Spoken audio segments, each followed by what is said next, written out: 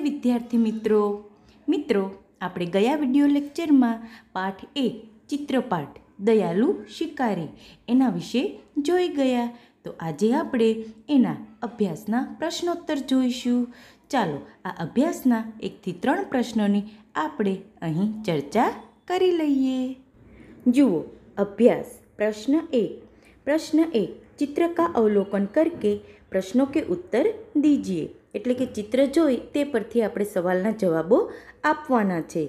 આપણે ગયા વીડિયો લેક્ચરમાં જે શિકારીનું ચિત્ર જોયું હતું એ ચિત્ર પરથી. પ્રશ્ન એકની અંદર આપણે એકથી પાંચ સવાલના જવાબો તૈયાર કરવાના છે. એમાં પહેલો, ઇસ ચિત્રપાઠ મેં કિસ પશુ કી બાત હે? જવાબ, ઇસ ચિત્રપાઠ મેં એક હિરની કી બાત હે.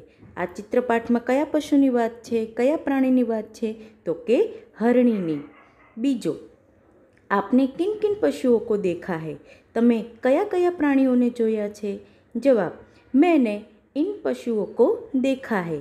મેં આ પ્રાણીઓને જોયા છે. જેસે ગાય, બેલ, ભેંસ, બકરી, ઘોડા, હાથી, કુત્તર, બંદર, બિલ્લી, ઊંટ ઓર ગધા.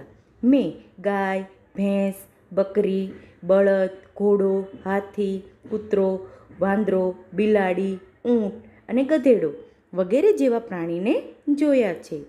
ત્રીજો સવાલ, જંગલ મેં કોણ કોણ સે જાનવર દેખને કો મિલતે હે?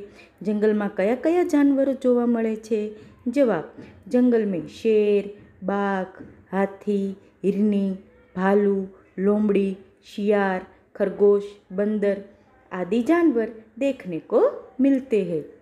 જંગલમાં તો સિંહ, વાઘ હાથી, હરણ, રીંછ, વરુ, શિયાળ, સસલું, વાંદરો વગેરે જેવા જાનવરો આપણને જોવા મળે છે.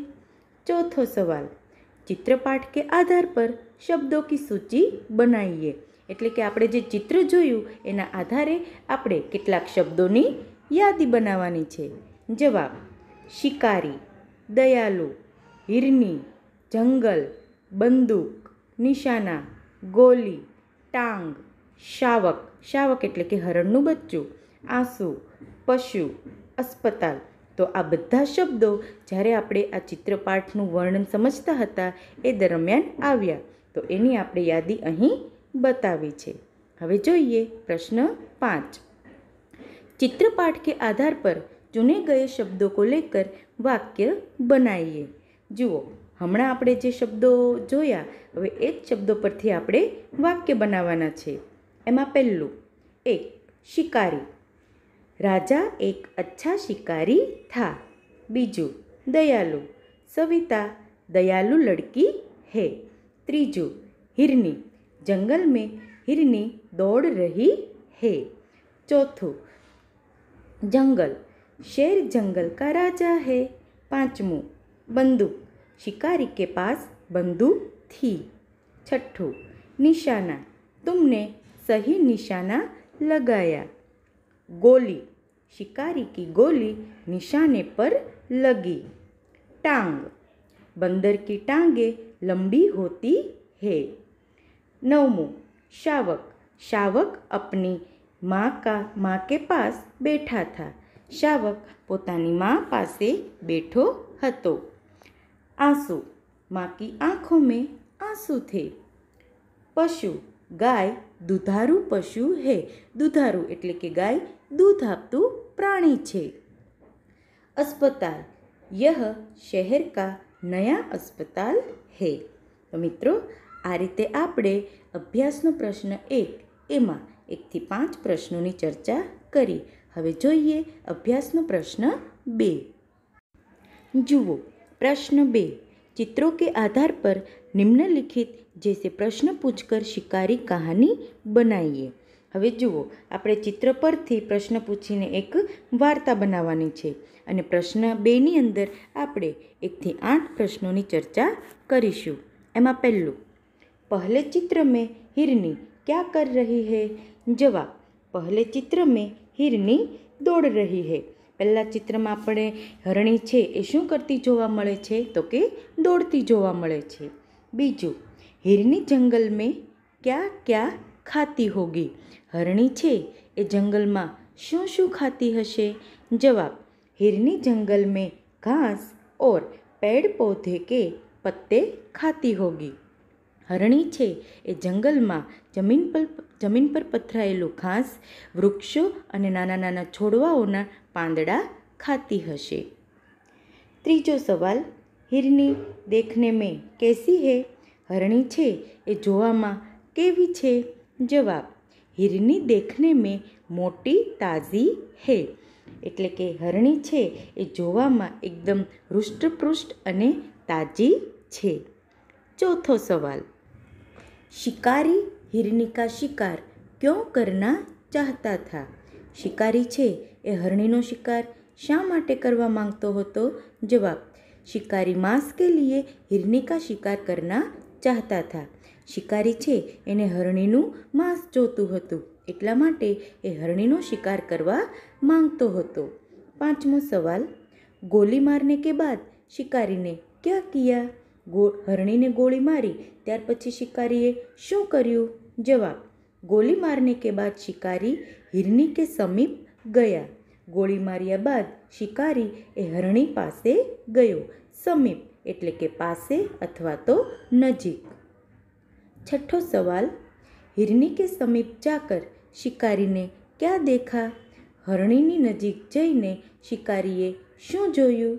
જવાબ हिरनी के समीप जाकर शिकारी ने देखा कि उसकी टांग में गोली लगी है और उसने एक शावक को जन्म दिया है હરણી પાસે જઈ શિકારીએ જોયું કે ઉસકી ટાંગ મેં એટલે કે હરણીના પગ પર ગોળી વાગી છે અને હરણીએ એક નાના બચ્ચાને એટલે કે શાવકને જન્મ પણ આપ્યો છે સાતમો સવાલ શિકારી હિરની કો કહાં લે ગયા ક્યો શિકારી છે એ હરણીને ક્યાં લઈ ગયો અને શા માટે લઈ ગયો જવાબ શિકારી हिरनी को पशुओं के अस्पताल में ले गया क्योंकि वह उसका इलाज कराना ચાહતા થા શિકારી છે એ હરણીની ટાંગ પર ગોળી માર્યા પછી તેની પાસે ગયો અને હરણીની હાલત જોઈ શિકારીનું હૃદય પરિવર્તન થઈ ગયું એનામાં દયાની ભાવના ઉપજી એટલે તે હરણીને પશુઓના હોસ્પિટલે એટલે કે દવાખાને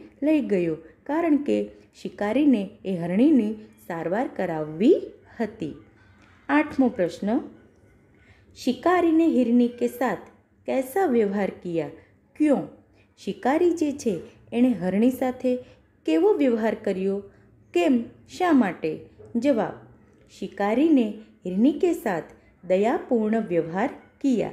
क्योंकि उसकी दशा देखकर शिकारी को दुख हुआ था શિકારીએ હરણીની સાથે દયાભાવપૂર્ણ જેવો વ્યવહાર કર્યો કેમ કે હરણીની હાલત જોઈને દશા એટલે કે એની હાલત પરિસ્થિતિ જોઈને શિકારીને ખૂબ જ દુઃખ થયું તો આ રીતે પ્રશ્ન બેની અંદર આપણે એકથી આઠ પ્રશ્નોત્તર જોયા હવે પ્રશ્ન ત્રણ પ્રશ્ન ત્રણ વર્ણ કે આધાર પર અધિક સે અધિક શબ્દ બનાવીએ વર્ણ એટલે કે અક્ષર.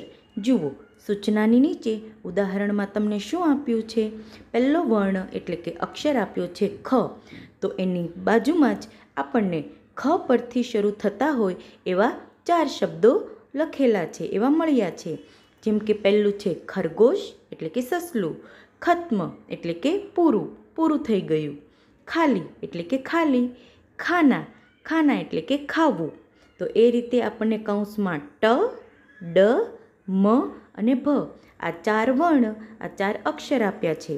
તો એના પરથી પણ આપણે ચાર ચાર શબ્દો બનાવીએ. જુઓ, ટ પરથી છે ટકશાલ, પછી ટકા, પછી ટખના અને ટમટમ, પછી ડ છે.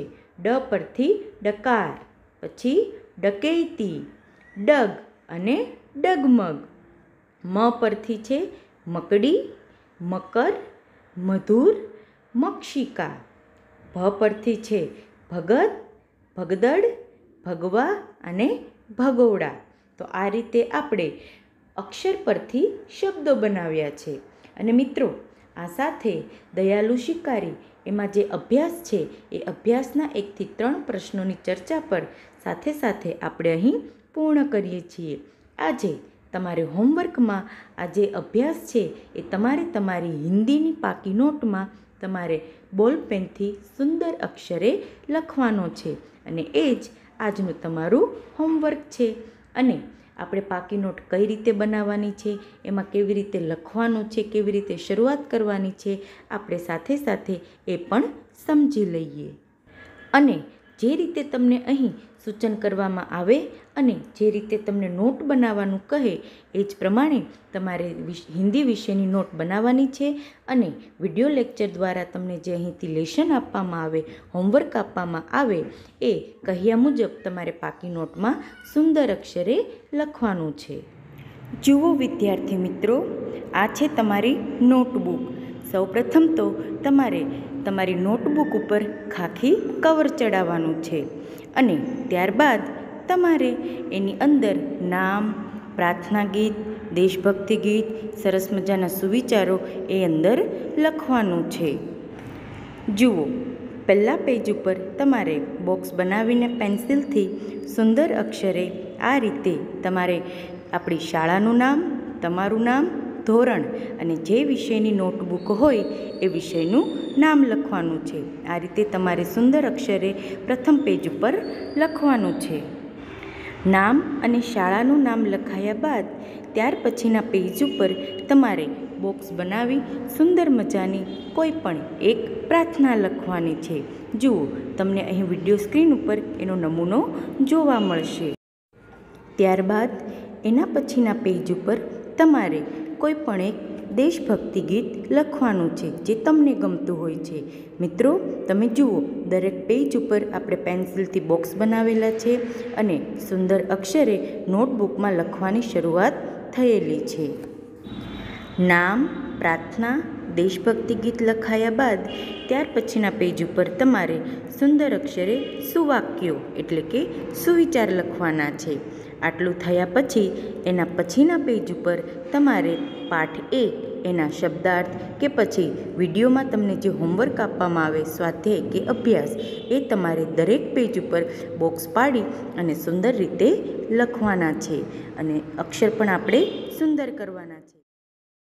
તો મિત્રો, આ રીતે તમારે તમારી પાકી નોટ તૈયાર કરવાની છે. અને પાકી નોટમાં આજે તમારે આ અભ્યાસના પ્રશ્ન એકથી ત્રણ એ સુંદર અક્ષરે લખી અને તૈયાર કરવાના છે.